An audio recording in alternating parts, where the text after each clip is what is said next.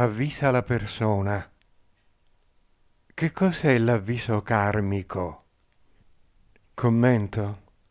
Presso il cerchio K le guide immateriali chiamano avviso karmico l'evento doloroso che avvisa la persona della possibilità di un evento più doloroso se la persona persiste nella sua limitazione.